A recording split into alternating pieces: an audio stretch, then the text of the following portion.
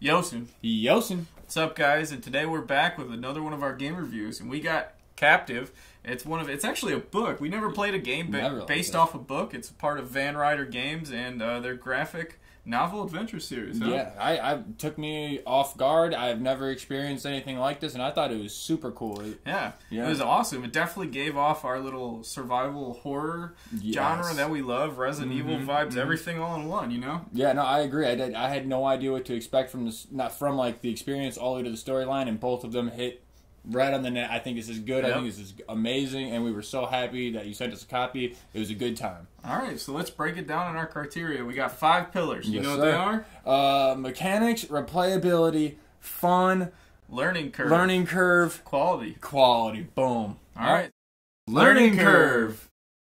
You know, this game was actually incredibly easy. Right? Yeah, no, there was literally little to no startup. You you open up the first page in the book, Yep. and First page is Yeah. instructions. It's in like, hey, stat profile. you got three stats, you got health, you got inventory, watch for hidden things, and follow the numbers. you Mm-hmm. Yeah, know? and and there was there's tons of hidden things and other things to look for. So they gave you tons of tons of replay value and stuff like that. So, yeah, yeah, which we'll talk about shortly. Yeah, here, you yeah. know, um, but like we said, it's incredibly easy. You just open the book, you Yeah. go to page one, it says go to twenty five, go to forty, you go Yeah. there, and you just follow. And you just get big yeah. jumps on page 48. It's going to tell you to go to page 200, and then in page 200, it's going to tell you to go to page 11. Yep. Which, uh, and it works perfectly in, a, in an awesome mix to where if you were to open the book and just look at it, you can't find the end. Yep, you don't. So you- There's yeah, so no you kind actual order. Everything's all Yeah. mixed up. Yeah, you can't. You you. There's no correlation, so you have no idea. So I think that's awesome.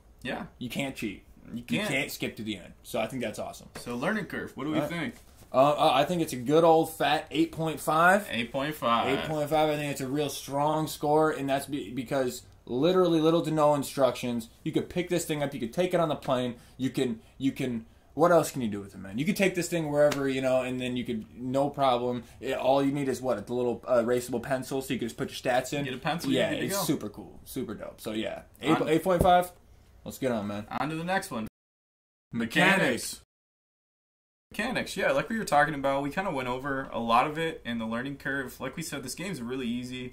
Um, you got your three stats: Yeah, uh, dexterity will. and Strength. strength. Yes. Yep, you got your three stats. You can you get five points, and then you get an extra five points. You can split between them Mm-hmm. because randomly yeah, in the stat book it'd be like five, and then you get five to, to Yep. divvy amongst them. Yep. So you're gonna have two sevens and a six Yep, normally. or something like Yeah, that. or something and, um, like that. You, however you want to mix them up, because randomly in the book it'd be like, if you have eight strength, go here. If you don't, go here. Mhm. And usually something bad happens either way, but the less bad sometimes Yeah, happens. You know, it's all mixed up. Like you would think that you would want to have two sevens and a six, like you know, for the stats, but sometimes you might need an eight on one page, and that can throw off your Yep. entire character. And the worst So- part is like you might need that eight. Like there's Mhm. one part, it's like you need a butcher's knife. If you have the butcher's Oh. knife and eight strength, go here, and you go here and you get stabbed. Yep.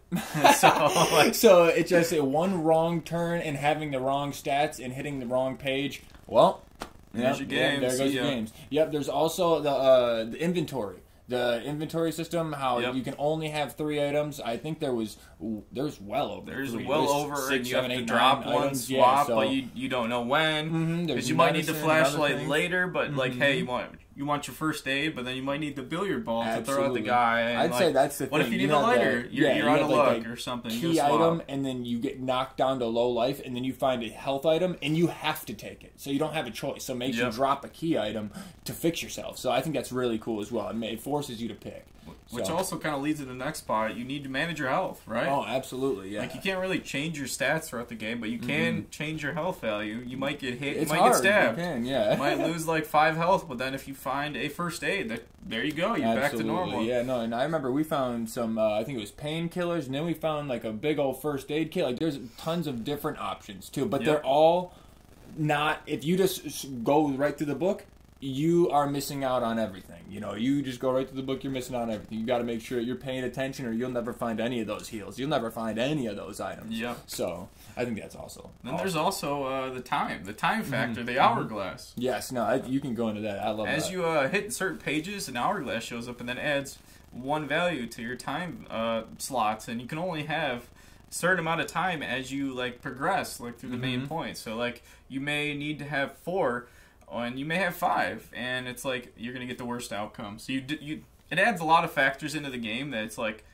You gotta like speed through the game, but you also have to be effective, and you don't Yes. know. And it says that. It says you have to find a perfect medium between I forget what the words they use, but like basically you have to find the right balance of speed without being greedy. Because if you do both Efficacy Yeah, or because something. and you also you have all the free will in the world in this game. Like let's say you walk through a hallway and you got hit with the hourglass and you went out the other door. You can go right back if you want. Nothing's stopping you. But if you do get go back, you get another hourglass. So what the predicament that me and you ran into We is were that looping around Yep, we would we would loop hallways. around looking for all this secret stuff. We'd hit way You too many hourglasses, numbers. and then by the time the end of the story mode, what we have? Fourteen hourglasses. We were we were trying to find Way every item, time. and yet we took way too long. But yeah, that's what it's about, man. We we had one where we were super strong.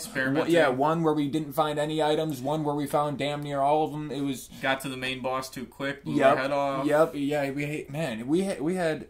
Yeah, we can't. I don't even want to say one of them. I don't want to bring bring any spoilers. But yeah, no, you have a big goal in this, and then if you mess Well, it up, it's to save it- for your daughter. It says Yeah, it right on the okay, back. okay, Only okay. you can save her. Okay, all right. You want to know what? All right, yeah. You can tell them that at least. But I just felt like that it's so good because there's tons of different endings and A lot of variety, you know. super awesome. Yeah, and the art's great too.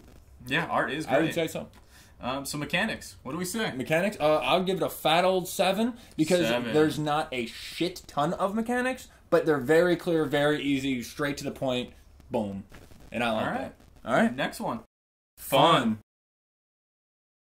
Uh, there's a lot of interesting outcomes and crazy endings for one that Yeah. we did not see coming. A and lot we've of seen variety. quite a few of them. Yep. Yeah. You never know what's really going to be on the next page. Yeah, you don't know It if you're gonna die a- or someone else is gonna die, It or if could be a gonna cat. It could be some nice dogs, or it could be like uh, Really some crazy ghost that's going to stab you with a butcher's knife. You yeah, don't know. some wicked shit. Yeah, you never know. Yeah, there's tons of unexpected stuff all on on every few pages. Yeah, every few pages.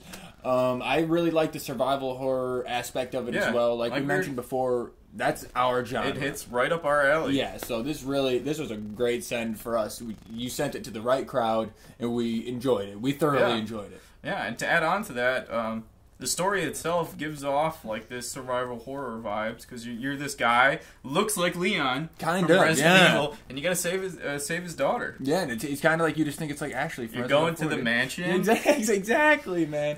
No, creepy yeah, no, dudes but, yeah. there, some like uh, some creepy magic stuff's going on. You, Mm-hmm. you never know, and also the the to add on, you never know. There's a lot of hidden stuff within the pages. Yes, Uh, yes. like we were saying, there's there's hidden numbers, and when you find them, they'll lead to a specific page, specific uh, picture, Mm-hmm. and um, you really never you never know what's gonna be Yeah, there. every time we've played, we've found we've literally. I even made a joke like, "Hey, I'll go get a, ma- a magnifying glass and make sure I see all the numbers," and we still don't find all the numbers. Every time you go through the book, you keep finding another number that you They're didn't. in oh, you good keep- places. They're like Yeah. sideways on the bathtub or something like that. Yeah, or like the image is only half the page and it's on the side of the bathtub, so it's like Yep. you really gotta look at it. But no, it's good. It's not like you need a magnifying glass. It's just a joke. They don't make it that hard, but they're not obvious at all. Yeah, by they make you work for it. Yeah, they do make you work for it. But uh, what do you say? What would you give it a score then, man? Seven point five. Seven point five. That's a good, well-rounded Yep. fun. I agree. Seven was pretty fun. On to the next one. All right, on to the next one. Replayability. Um, like we were saying, this game has a ton of different outcomes, a lot of variety depending on your decisions, what you do. If you pick this up, or if you have Mhm. this strength, or if, like, you know, you take this route, you die early, you take this route, you don't fight this monster, a ton of different outcomes can happen. Mm-hmm. Yeah, and like you would think in your survival instinct that maybe you just want to avoid everybody. That's not the case. On Yeah. top of the fact of you think you want survival items, sometimes you don't need the med kit and the flashlight. Sometimes you need a billiards ball or Yeah. some something else. You know Every what I'm saying? So keep your mind open when you're playing this game. Yes. And you need it here, but you might have went you might have needed it on the right route and you went left Exactly, or anywhere exactly. Like you did everything the way you were supposed to do it, and you picked one wrong door, which sent you on a tangent in the wrong direction, which left you And with then a a snake's totally biting you. yeah, exactly.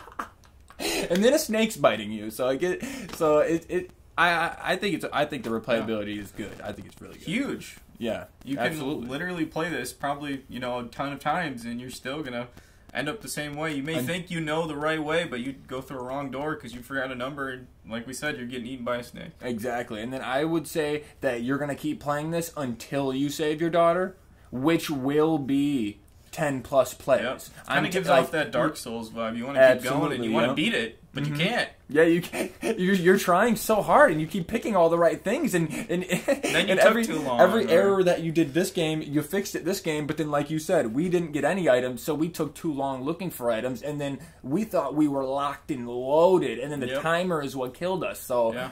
be frugal, don't get greedy, and I don't know. I don't know what else to give him at the end, but man, it's a tough one. It's Yeah. a tough one. It's good. And but, all um, that variety makes it pretty fun, you know, because there's so many different outcomes. Absolutely, and it is a one. It's supposed to be obviously a one-person game. One person holds a book, but we were sitting here with me, John, and Brandon, all Each behind the book. like, a different yeah, decision Like or a we read the options out out loud, yes, and made a community character. And don't get me wrong, we got our ass busted pretty early. Yeah, it might honestly been better to go by yourself. Yeah, because it, because we were like making jokes out of it, making him do the things that we thought would be funny or This, would this skull cause door things. looks fine. There's nothing there. There was Let's like there's it. blood outside this skull door. You want to know what? It could be Let's do anything. Yeah, let's check it out. No, we gotta, yeah. we gotta do it for the Yooosin. Yeah, no, for we the for the Yooosin, yeah, and then our game ended instantly after that. That's too funny. But Um, no, yeah. the other absolutely. thing to add on, this game is literally a book. So you're on an airplane, you're on a long car ride, take Mm-hmm. a book with you, and that's a couple hours of fun right there. It's Yeah. really easy to pick up and set down. Yeah, and I would say that each. What would you say? Fifteen minutes. 15 minutes for a playthrough or something like that. Maybe if you, it depends how. Maybe they're going to get way farther than us. Yeah, it depends And if you get way farther than us and you're way better than us, then you're probably going to have a longer Yeah. 20, 25 minute game. But It then if you're quick. worse than us, you might count on a seven minute game. You die in So- the first room. Yeah, that's what we did. We had a two and a half minute game once, so that just that's just how that bro. You know, that's how the dice goes. That's how the cookie crumbles. No, but uh, what would you give it for a score then, man? Replayability seven five. Seven five. No, absolutely, I'd agree. I'd agree because the replayability is so good until you save her, and then I think that's what would be my ending point. But until then, you're gonna be going hard. You're gonna be going hard for it. So I agree. Quality. So diving right in, you know, this book is it's just a book, but like itself, the cover is really fucking nice. Yeah, it's no. like got some it's hard. It's a hardcover book, so Absolutely. it's gonna last a while, but like the actual hardcover itself is like soft. I don't know what type of material it's made of, but it feels really nice to touch. I agree, and I will even admit too. When I was walking this in my house, I drop dropped it. I dropped it, and there's a little dink, just the tiniest little dink. But that's because I dropped it on concrete from seven feet in the air. It's still And a book at the end of the it- day. no, but it's still like the corner. I dropped it right on the corner like this, and it's still got a sharp corner. It still looks very clean. This thing, you know, I think if I poured something on the table, Could you could wipe wipe, it. it off. You know what I'm saying? Yeah, agreed. So I like that. I need that type of shit. Mm-hmm. So pages itself uh, in the book are actually pretty sturdy too. Like I don't think I can rip them accidentally like a lot of different books. You know, Mhm.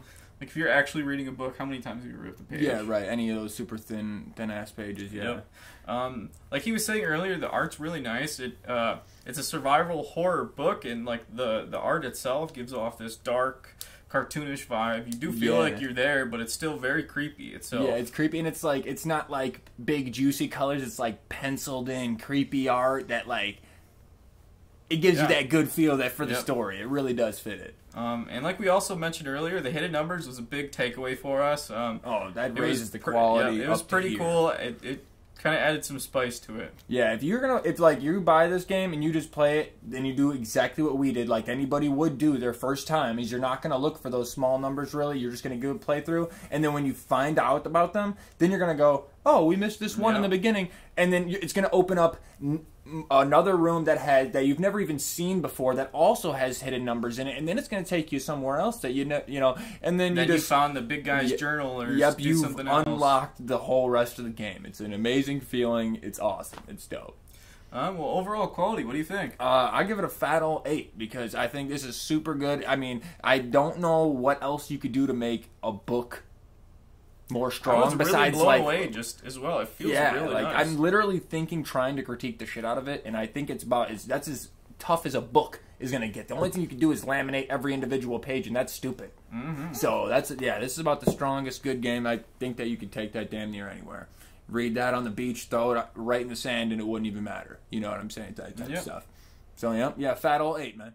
So putting everything together. Oh yeah, man. After everything uh, got all put together, all the all the gear started turning. Put the ingredients together, stirred the after the, after everybody was served dinner, Served dinner. what? then the score came out as a seven seven.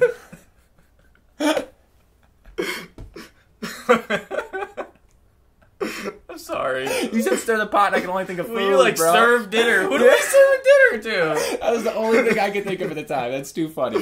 But no, as an overall, after all five of our scores, the medium, we give it a fat old 7.7. And that is a 7.7. good, strong It's one of our score. hires. Yeah, no, it's definitely one of our And with this being the least amount of stuff, there's no box, there's no Yep. items, there's no nothing. I think it just hit us exactly what we needed. Mm-hmm. Like this is our type of game. Right, and if this same exact format of game could have showed up and it could have had a different story and it wouldn't have done it for us, but this one did it for us. And it just so happened that my man sent us one that we'd be interested in and Yep. it worked out first try, honestly.